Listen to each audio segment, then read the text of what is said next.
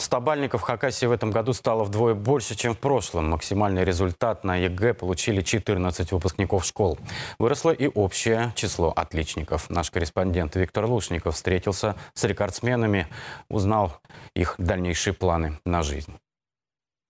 Ольга Цыганова – частый гость библиотеки. Во время учебы приходила сюда готовиться к ЕГЭ, писала рефераты и доклады. Сейчас штудирует юридическую литературу.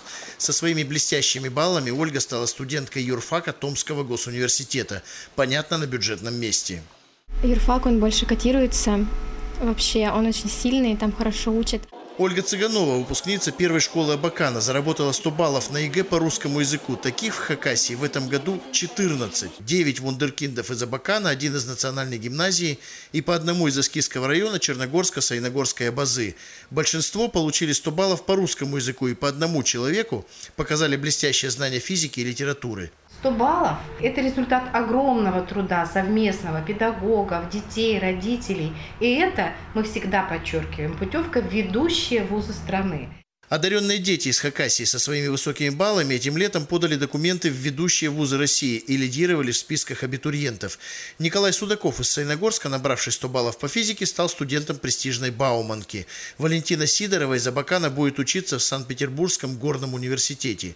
Но многие остаются в Хакасии, как, например, будущий врач Дмитрий Иванинский. Он получил свои 100 баллов по биологии, став призером Межвузовской олимпиады «Будущее Сибири» и возглавил рейтинг абитуриентов на специальность лечебной судебное дело в ХГУ.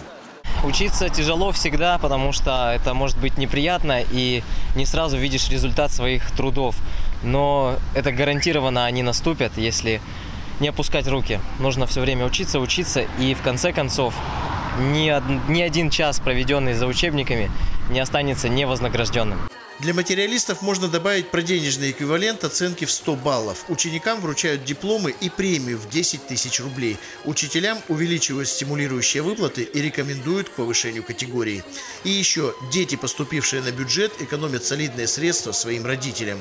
Та же Ольга Цыганова сберегла семье более полумиллиона, ведь курс юрфака в Томском госуниверситете стоит 140 тысяч рублей.